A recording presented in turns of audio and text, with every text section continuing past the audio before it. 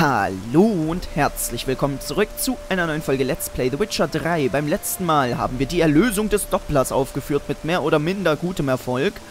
Und ja, jetzt haben wir Dudu gefunden und der lässt Rittersporn demnächst nach Ochsenfurt verlegen. Und ja, zusammen mit Soltan und seinen Leuten wollen wir hier auf den Trupp warten und uns dann Rittersporn krallen. Dann ist wohl alles bereit. Ja, sobald wir sie sehen, blockieren wir den Weg. Zur Not gegen eine ganze Einheit. Wobei, du weißt ja, dass ich den Plan toll finde und immer gerne helfe. Und ich habe gewiss nichts dagegen, ein paar Heuchlern den Schädel einzuschlagen. Aber wenn wir nun schon einen Doppler haben, warum lässt er nicht einfach Rittersporn frei und fertig? Naja, ähm, der Überfall ist einfacher, das nicht. Die Sache ist, es wäre ziemlich verdächtig. Das würde Menge wahrscheinlich nicht tun, ne? Zu verdächtig. Überleg mal. Menge verschwindet, taucht mit einer Narbe im Gesicht wieder auf und lässt Rittersporn frei? Tja, ich schätze, du hast recht. Priscilla? Was machst du denn hier? Ein Kind hat eine Nachricht von Dudu gebracht. Der Konvoi bricht bei Tagesanbruch auf. Darf ich hier bleiben? Ich kann nicht länger zu Hause sitzen und mich um Rittersporn sorgen. Keine Bange, meine Liebe. Du kriegst den schönen Mann zurück. Komplett mit seinem guten... Äh, verdammt, wenn Damen in der Nähe sind, muss man echt auf seine Reime achten. Geh in die Stadt zurück. Bitte. Ich störe auch nicht. Ach, Gerald, nun lass sie doch. Schau sie an, ganz verheult. Wie mein Pfiffi, als er Verstopfung hatte. Äh, gut, sie soll bleiben. Das Problem ist... Äh, ja gut, die erwarten den Angriff nicht. Aber das Problem ist, wenn sie am Ende noch einen verirrten Bolzen abkriegt, dann haben wir ein richtiges Problem, ne? Dies ist kein Ort für sie. Wenn ihr was zustößt, will ich Rittersporn nicht erklären müssen, warum sie hier war. Muss ich dich daran erinnern, dass ihr hier seid, um Rittersporn zu retten, nicht mich? Ich kann auf mich aufpassen. Na schön. Aber denkt daran. Ich weiß. Sobald der Kampf beginnt, halte ich Abstand. Noch ist ja nichts los. Und es könnte auch noch eine Weile dauern. Also, wie wär's mit einer Partie Gwent? Ja gut, ähm, ist zwar ein ziemlich ungünstiger Zeitpunkt dafür. Ich glaube, es hat gerade aufgehört zu regnen. Na, von mir aus. Sicher. Spielen wir. Spielen wir mal eine Runde gegen Priscilla. So hatte ich hier eine... Ich habe schon lange keinen Gwent mehr gespielt. Ich glaube, das war alles so gut mit den Karten, ne? So, Skoyatel und sie fängt an. Selbst schuld, sag ich da bloß. Ich habe die Katapult-Kombination, ich habe die blauen Streifen, ich habe einen Spion. Es ist eigentlich ein recht guter Start, möchte ich meinen. Ach komm, ich brauche keine zwei Hörner jetzt. Und ich habe noch Sigismund Dijkstra. Es ist eigentlich ein sehr guter Start, will ich sagen. Vrehet-Brigade will, äh, will sie spielen. Na gut. Ähm, ich fange mit den blauen Streifen an.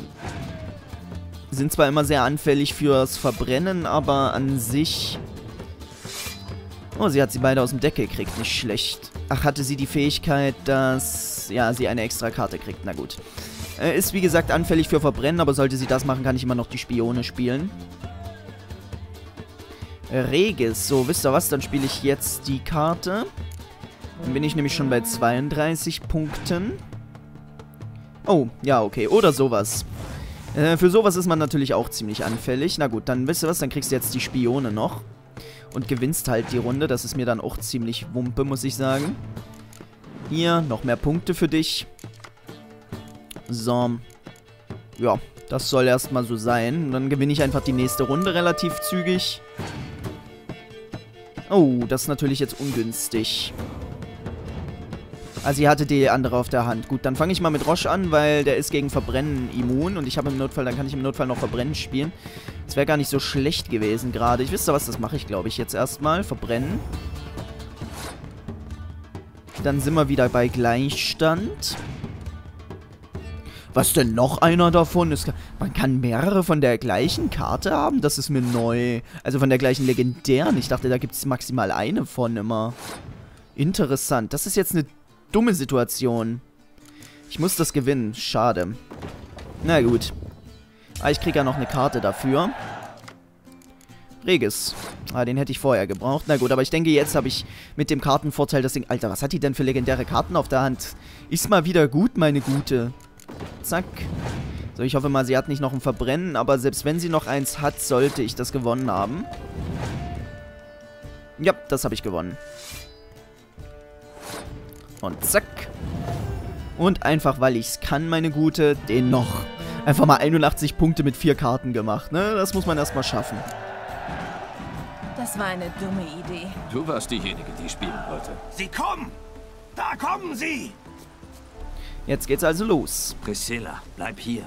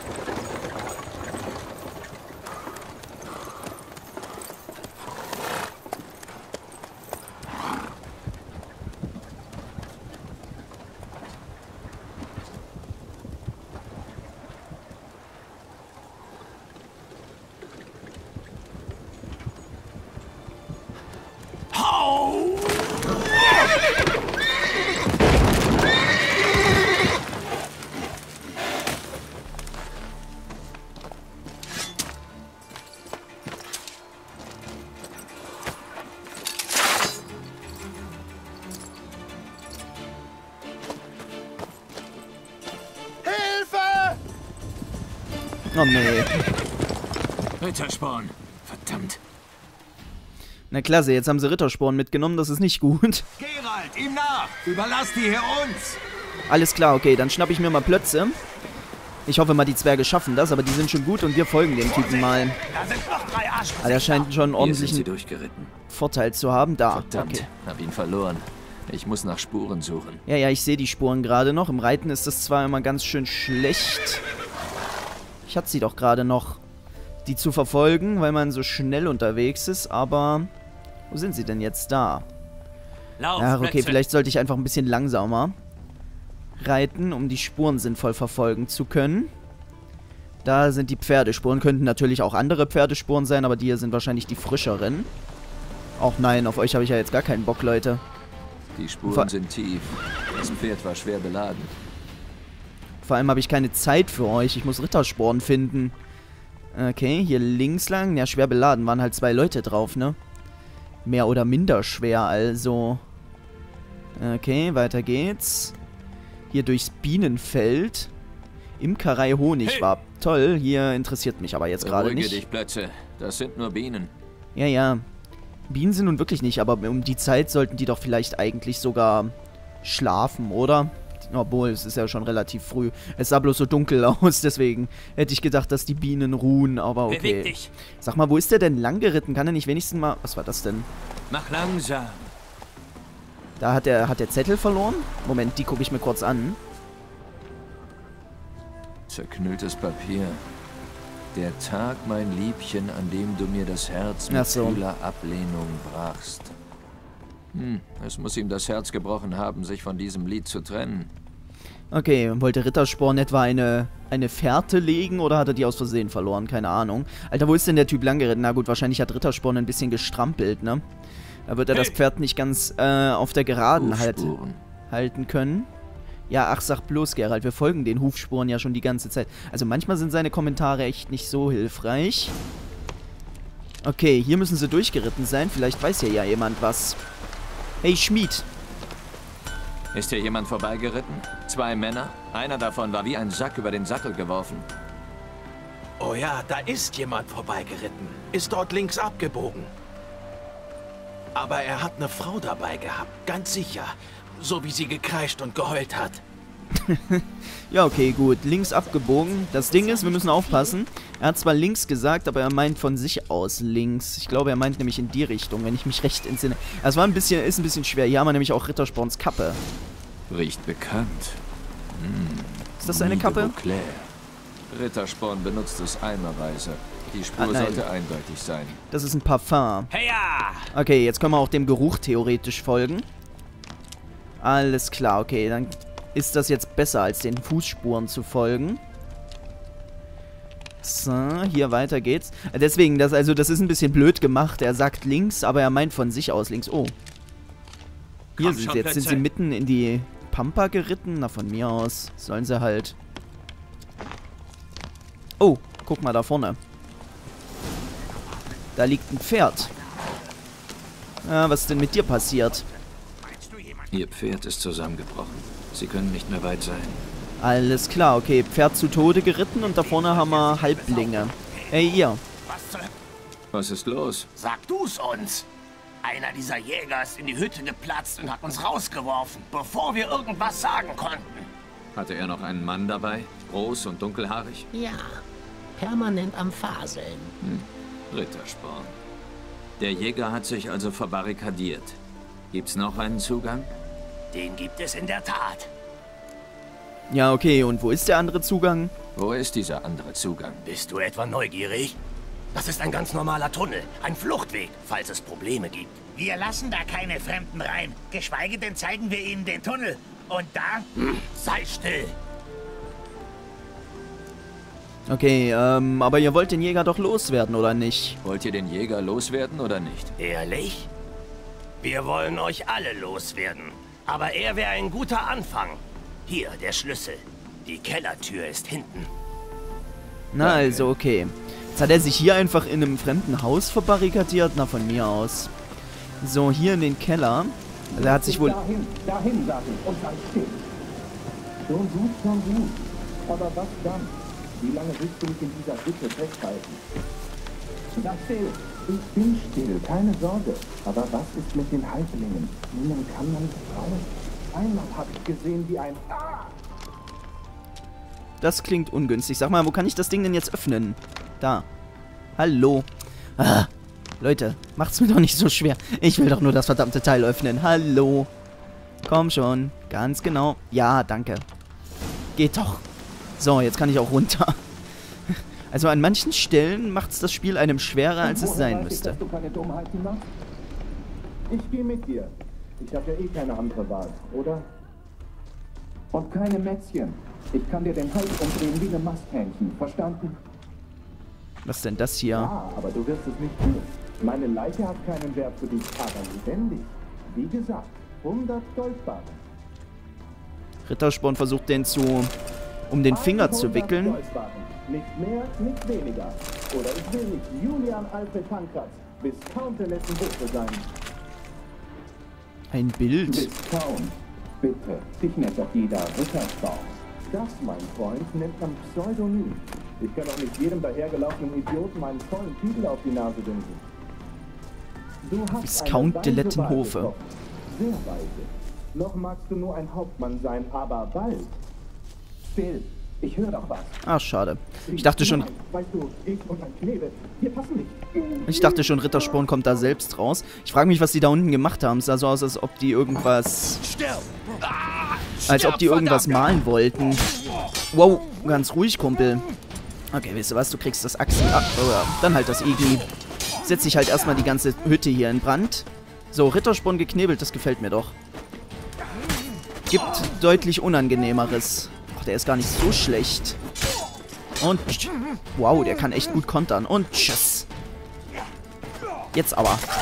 Na also. So. Oh, guck mal, der hat einen makellosen Rubin dabei. Ja, ja, Rittersporn, ich bin ja schon da.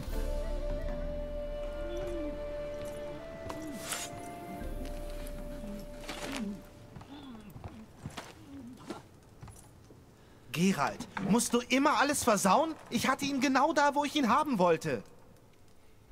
Ah, wie gut dich zu sehen, mein Freund. Warst ja eine Weile nicht in Novigrad. Was? Komm mit. Reden wir draußen.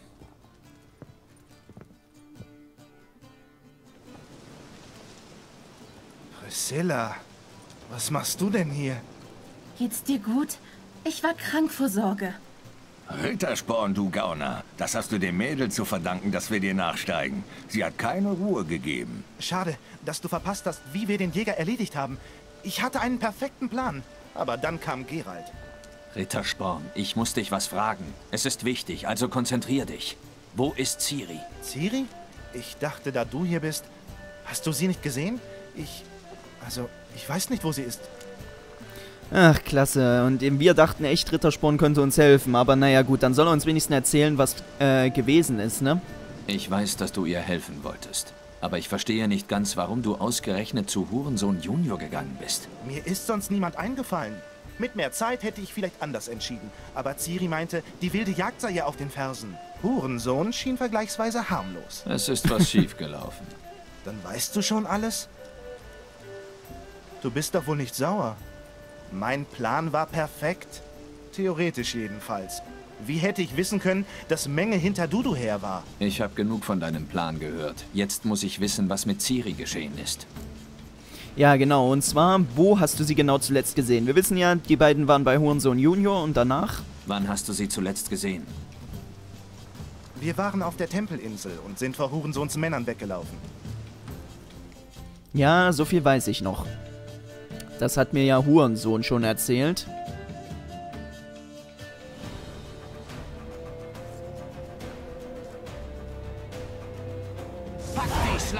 Ach du Scheiße, da sind noch mehr von denen. Oh, und da sind auch noch Wachen. Ja, komm, dann müssen wir die halt auch fertig machen. Alter, sind das viele hier. So, nichts wie weg hier, nichts wie weg. Da hinten wartet schon Rittersporn. Schnapp dir ein Pferd! Okay, Rittersporn hat die Tore geöffnet. Perfekt. Komm schon, ich will aufsetzen, verdammt. Und weg hier. Nichts wie weg. Komm, beeil dich, Rittersporn. Wir haben keine Zeit. Oh Gott, die haben ja verbarrikadiert alles. Äh, Beeilung. Ach, komm schon. Blöde Männer von Hurensohn hier, die haben noch keine Chance gegen mich auf einem Pferd. Alter, die haben ja alles verbarrikadiert. Oh, oh, oh, oh. Schnell weiter, schnell weiter. Eieiei. Ey, hab ich den nicht erwischt. Hätte ja klappen können. Da vorne ist Rittersporn. Lass dein Pferd hier! Okay. Es muss sein! Ja, Wir ja, ich- sind fast da! Ich bin doch schon dabei. Okay, da vorne habe ich schon wieder Gegner gesehen. Ach du Scheiße. Und da kommt ein Armbrustbolzen geflogen. Ich hab's genau gesehen. Oh, Mann. Bleib mal ruhig hier. Okay, erstmal ein paar fertig machen hier. Und dann mal kurz zur Seite.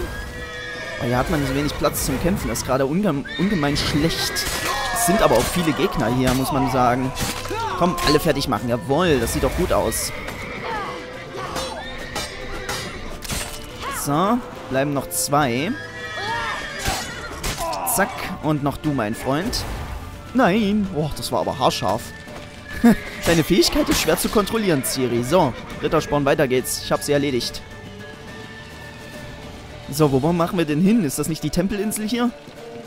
Und da kommen wir doch erst recht nicht weg. Die wollen zum Platz! Hierher! Wache! Wache! Rittersporn!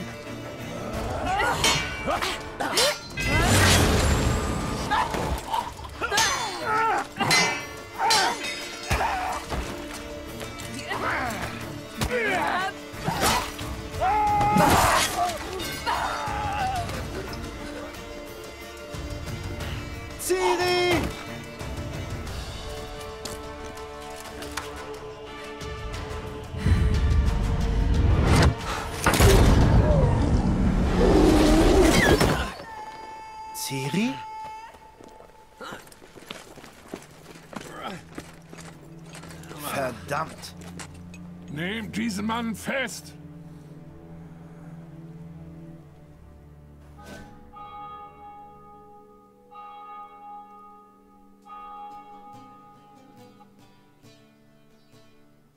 Ach, was für ein Abenteuer. Eben noch ziehen wir den Raub des Jahrhunderts durch und nun sind wir Beute mit einem Haufen Jäger auf den Fersen. Ja, eine großartige Geschichte. Aber ich habe genug von dieser Prahlerei. Komm, Soltan, wir müssen die Halblinge überzeugen, dass sie nichts gesehen haben. Das ist Material für einen ganzen Balladenband. Der wird weggehen wie warme Semmeln. das will doch keiner lesen. Ähm, ich glaube schon, dass das Leute lesen würden. Ich meine, schlecht war die Gesch äh, Geschichte wirklich nicht. Es geht um, um einen Raubüberfall, um einen Bankraub quasi mit anschließender Flucht, ne? Ja, aber die Sache ist, Ist das alles, was dich kümmert? Die Balladen, die dabei rausspringen? Dein Ego nimmt wohl überhand. Du wirst im Alter immer selbstsüchtiger. Worum geht's hier eigentlich? Um Ciri. Warum soll ich mir denn um Ciri Sorgen machen? Weißt du denn nicht, wie sie kämpft? Das Mädel kann auf sich aufpassen, glaub mir. Außerdem muss sie ja wegen dieses Kästchens wiederkommen. Das Ding, mit dem alles angefangen hat. Das hier? Das hast du von Hurensohn? Oh, da wird Ciri aber froh sein. Aber Hurensohn ist bestimmt außer sich. Naja, das Ding ist, der ist ziemlich tot. Der kann nicht mehr außer sich sein. Hurensohn ist tot. Oh, Zorn ist dir wohl auch nicht fremd. Naja, ich kann nicht behaupten, dass mich sein jähes Ableben bekümmert. Er hatte es so sehr verdient wie seinen unvorteilhaften Spitznamen. Was ist mit unserem alten Freund Siggi Reuven? Hast du den auch schon besucht? Dem geht's gut. Ach, das ist schlecht. Dürfte ziemlich sauer auf mich sein. Naja, gut, ähm, ich weiß nicht, der weiß ja eigentlich gar nicht, wer den Raub über, äh, ja, den Raub im Endeffekt durchgeführt hat. So viel haben wir ihm ja nicht verraten, wobei ich mir glaube, der hat es inzwischen rausgefunden. Aber naja, wir haben ihm ja immerhin geholfen, seinen Schatz mehr oder minder zurückzuholen. Von daher denke ich mal, können wir sagen, wir sind quitt mit dem Guten. Jetzt ist aber die Frage, was ist dieses Phylakterium eigentlich? Hat Ciri dir mal gesagt, was das ist? Oder wieso sie damit zu Hurensohn gegangen ist? Sie ist zu Hurensohn gegangen, weil ich sie hingebracht habe. Ich hätte wissen müssen, dass das deine Idee war. Was? Ihr magisches Dingsbums war kaputt. Hurensohn hatte Kontakt zu den Magiern, die es reparieren konnten. Außerdem brauchte sie Hilfe beim Entziffern eines Fluchs. Dessen Beschwörung. Was? Ein Fluch? Was ist das denn für ein... Also was denn für Warum einer? hat Ciri sich für diesen Fluch interessiert? Wollte sie ihn wirken oder brechen? Hat sie das gesagt? Sie wollte überhaupt nicht drüber reden. Und ich wollte nicht neugierig sein. Das eine Mal, wo es nützlich gewesen wäre. Aber ich bin mir fast sicher, dass sie ihn brechen wollte. Bei wem? Oder bei was? Oder bei sich selbst? Nein, ich glaube nicht. Ich meine, sie sah nicht verflucht aus. Aber sie hatte es ganz schön eilig. Hm, na gut, und was weißt du über den Fluch? Wenigstens, was für eine Art für, von Fluch das ist? Weißt du noch mehr über den Fluch? Etwas Bestimmtes? Ein Detail? Irgendwas? Hm. Also, ich weiß die Worte. Nicht dein Ernst. Doch, es war elfisch. Ciri hat den Spruch ständig wiederholt. Sie wollte ihn sich wohl einprägen. Er ging so. Va fail Elaine, ket mil foli.